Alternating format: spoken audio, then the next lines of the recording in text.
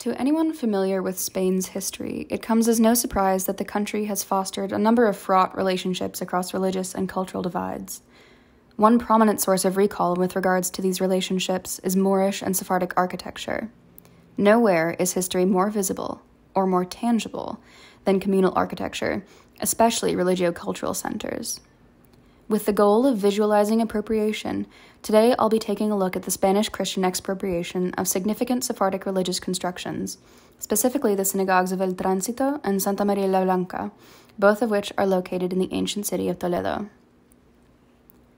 The El Tránsito synagogue is the common name for the synagogue of Samuel Halevi, a scion of an old Jewish family, and is one of the most important examples of Spanish Jewish art in existence. It was built in the 14th century and was located inside the medieval Jewish quarter, Juderia, at a central location within the walls of the city of Toledo. The synagogue was intended to serve as a private house of worship for Samuel Halevi and was connected to his house by a private gate. In 1360, Samuel Halevi was arrested by King Pedro and tortured to death. El Tránsito was removed from his possession and seized by the state. 132 years later, after the expulsion of the Jews from Spain in 1492, the synagogue was granted to a Spanish Catholic religious order. Thus began the conversion of El Tránsito. In order to fit the needs of Christian worship, the main prayer hall was converted into a church known as the Iglesia de San Benito, and a bell tower was built onto the exterior in the 16th century. The name El Tránsito developed in the 17th century, during which time San Benito was known as Ermita del Tránsito, shortened popularly from El Tránsito de Nuestra Señora, or Our Lady's Transit.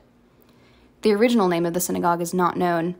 In deference to its history, some modern authors tend to call it after its founder. During the 18th century, the complex housed a monastery, and it underwent a long series of restorations and renovations through the 1960s.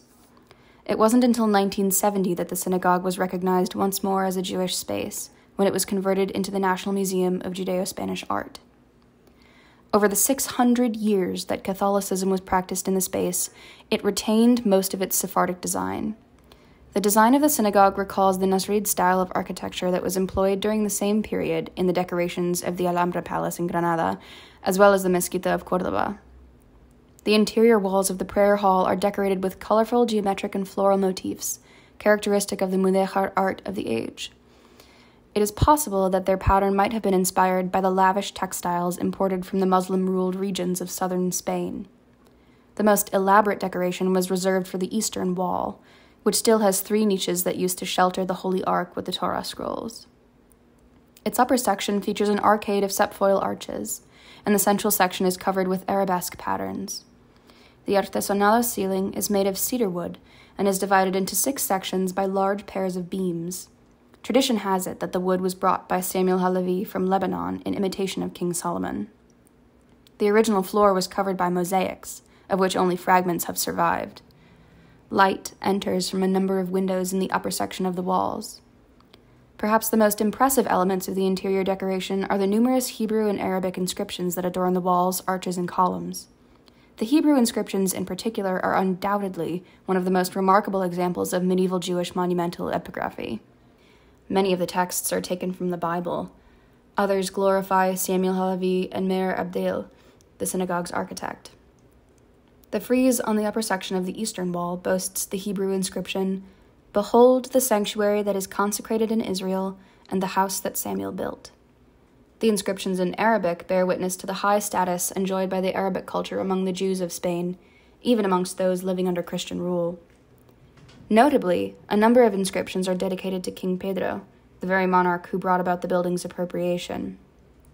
The coat of arms of the Kingdom of Castile is also repeated a number of times on the walls of the synagogue as proof of the loyalty of the local Jews to the king. A short 200 yards to the north of the Sephardi Museum stands the synagogue of Santa Maria la Blanca. Larger than El Tránsito, this second surviving synagogue's name also evokes the particular complexities of its converso identity. La Blanca stands today as a precious yet self effacing trace of the living presence of an unresolved past. The exact origins and original specifications of the synagogue prove difficult to place. Evidence points toward a construction date sometime in the late 12th century or early 13th century.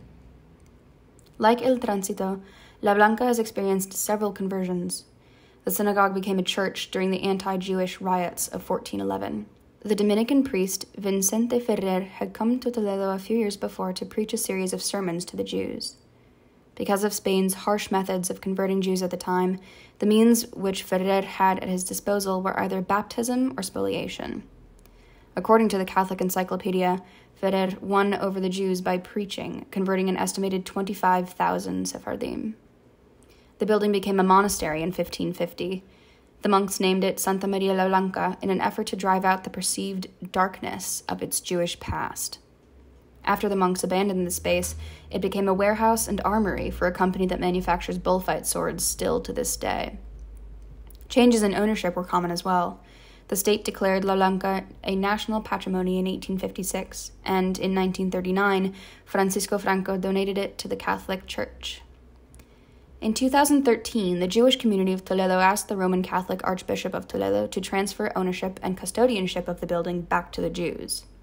Under this request, the Archbishop met twice with the president of Spain's Federation of Jewish Communities, who claimed that there was no contemporary Jewish community in Toledo. He also said that the Federation was not looking to reclaim Santa Maria la Blanca as a place of worship, but as a symbolic gesture. Thus far, there has been no judicial recourse over the matter because the modern Jewish community are not direct descendants of the original owners. The building, the third most visited historic monument in Toledo, is presently a museum and is not used for any religious ceremonies. With regards to its architecture, the Synagogue of Santa Maria la Blanca also retained its Mudéjar origins. The floor plan is an irregular quadrilateral divided into five aisles, with the central nave aisle slightly larger than the remaining four. The interior features a series of arcades supported on a network of 24 octagonal piers and 8 engaged piers. These octagonal supports line the central aisle of the synagogue and support the large arcade of horseshoe arches above. The arches rest on intricately detailed mudéjar capitals with finely carved pine cones and other vegetal imagery. The focal point of the synagogue is the scallop shell topped arch at the center of the building. This was the location of the Torah Ark. In many synagogues found throughout the Jewish diaspora and what is now Israel, the scallop shell motif is a marker for the location where a portable ark should be placed. Notice the ark niche in juxtaposition with the cross. The building is also surrounded by a courtyard, which used to serve as a place for the people to congregate before and after prayer services. The rabbi's residence, a ritual bath, a study hall, and other things the community may have invested in were all built in this courtyard to give the Jewish community a central place for care of their spiritual needs. Considering both synagogues, El Tránsito and Santa Maria la Blanca, the memory of Jewish Spain as a marker of nostalgia and utopia has been busy at work for many centuries. The paradoxes of the splendor, destruction, and fragmentary survival of Jewish Spain are encapsulated in these synagogues. To physically enter either space is to enter a certain void. Neither synagogue houses any furniture or interior decoration other than the architecture itself. El Tránsito boasts some activity in the way of cultural engagement, educational courses, and guides, considering its status as a historical museum. But Santa Maria la Blanca remains largely empty. The emptiness is something of a testament to the intangibility of Sephardic heritage in Spain. So little of Spain's Jewish history is visible because, frankly, the Jews have never been in charge. The architecture is as tangible as this history will ever get. There has been much emphasis on restorative efforts for both synagogues for this exact reason. The questions of what remains and what is remembered hit particularly hard with these two buildings. Interestingly, the void has not been intentionally produced in order to awaken the public's consciousness of the destruction of Jewish life in Spain. Rather, the void exists only as a result of that destruction. It is not surprising that so many people have come to embrace the possibilities offered by these synagogues to fill them with their own desires, anxieties, and hopes for the future of remembrance.